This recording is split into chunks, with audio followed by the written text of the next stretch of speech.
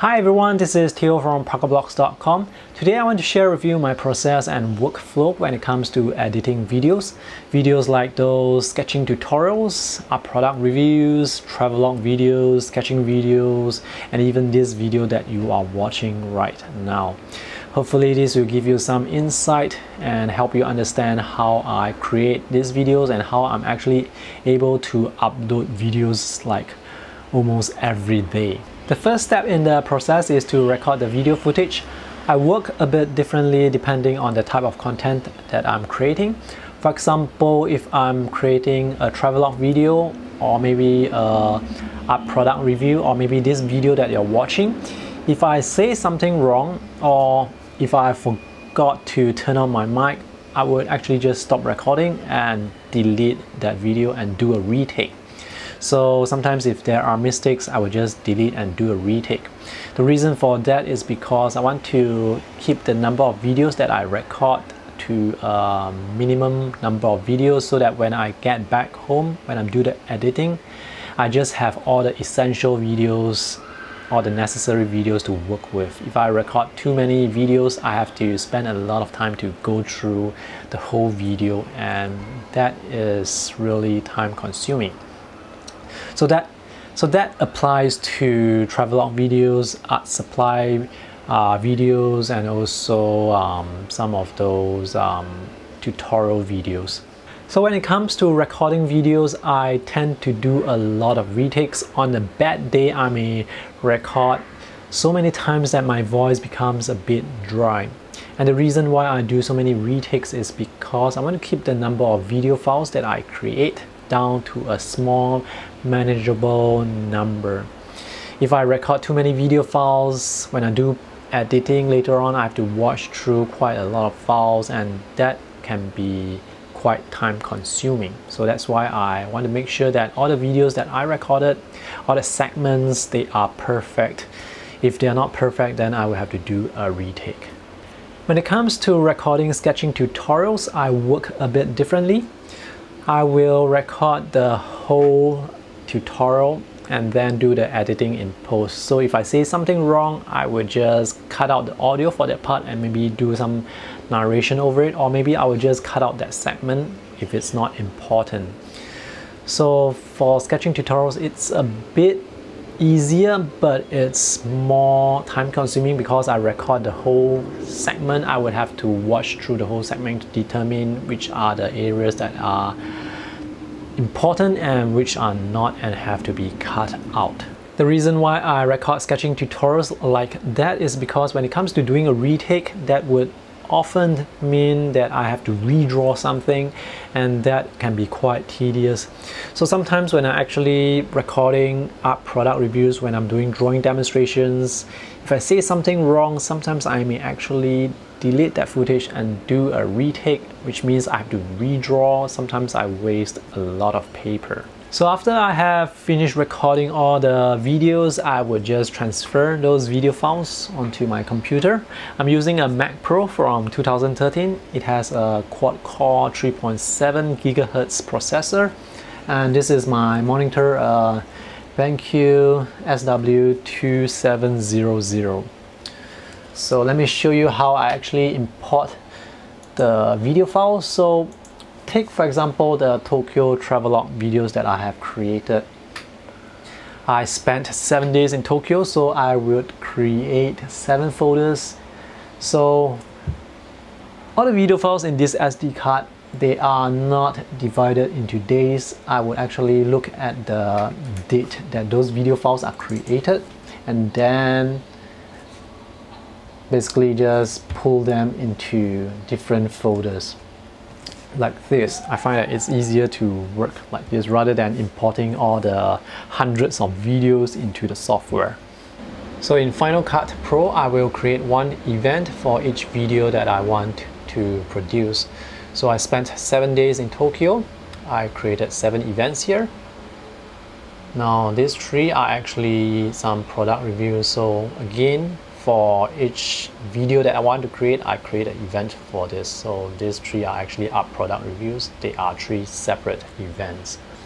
Now the thing with Final Cut Pro is inside the event, you can create several other projects and each project is actually a video file.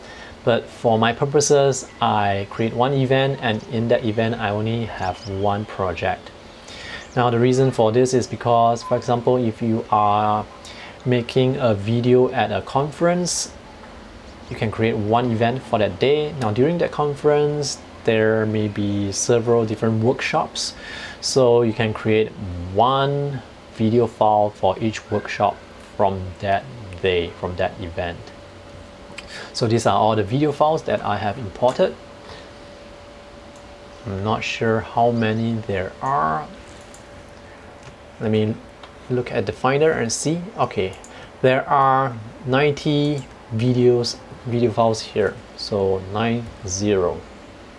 So that's quite a lot of video files.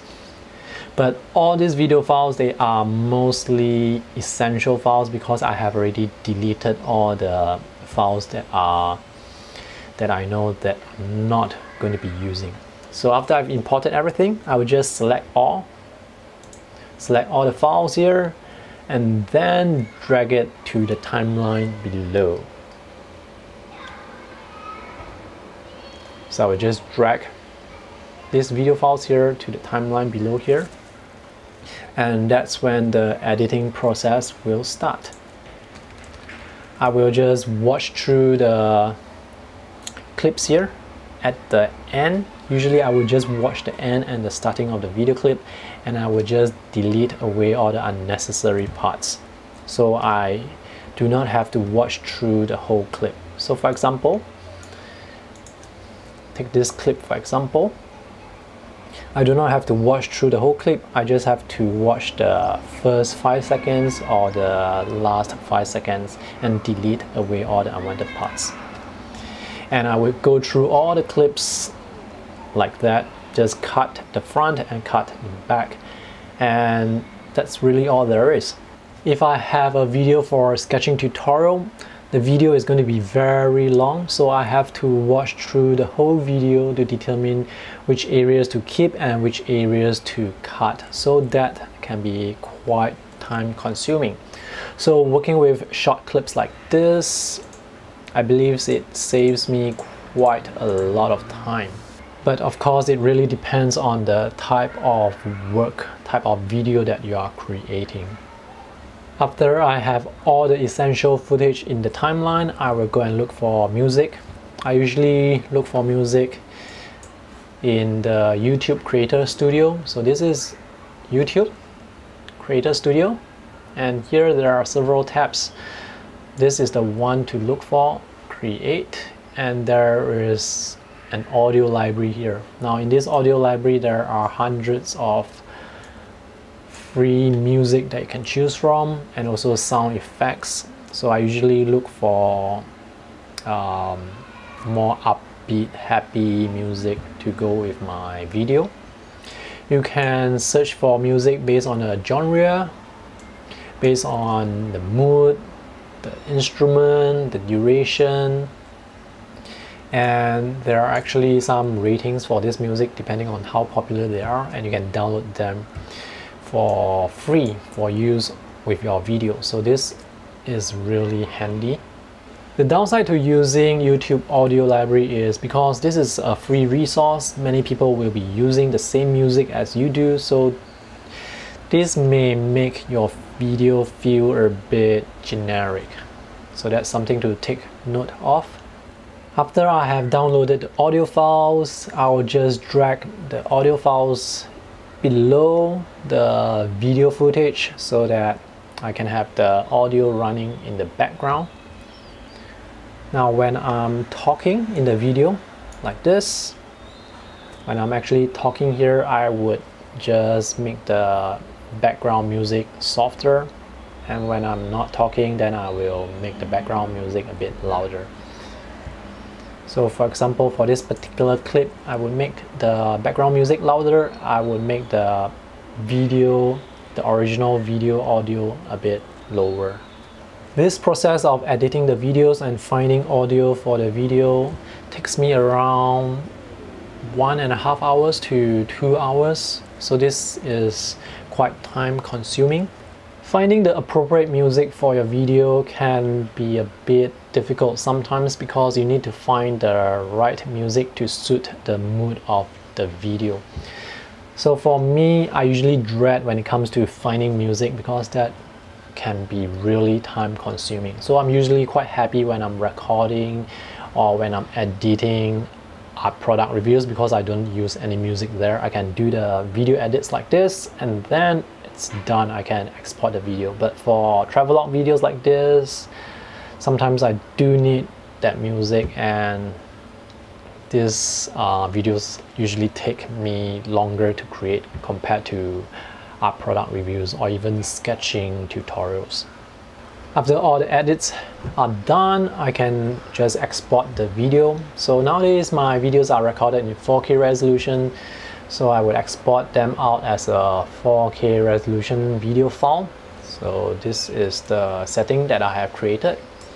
Now one good thing about Final Cut Pro is you can actually export and then have the software upload directly to either YouTube, Vimeo, Facebook or other uh, websites that are supported here. So this is quite good because sometimes if the video exporting process takes a long time, you have to leave it overnight. And when you leave it overnight, it's good to be able to have that video upload by itself after it has finished exporting. So that's great now with uh, software like the older versions of Adobe Premiere when you export the video there is no way to upload directly to YouTube for example. Now during the time when I was in Manchester uh, last year during the Urban Sketchers Symposium I was using a Dell laptop running Adobe Premiere. I have to export the file at night, set my alarm for one hour, wake up after a nap, and then upload the video to YouTube. Creating travelogue videos or daily videos can be quite stressful sometimes if you need to upload the video on the same day. For example, last year while I was at the Urban Sketchers Symposium in Manchester, UK, I spent two weeks there I tried to create a video every single day and it was really stressful. So during the daytime, I would shoot a lot of footage and at night I would edit the video, I would find the music and usually by the time I'm done editing the videos, it's around 11 or maybe 12 midnight. I would be very tired.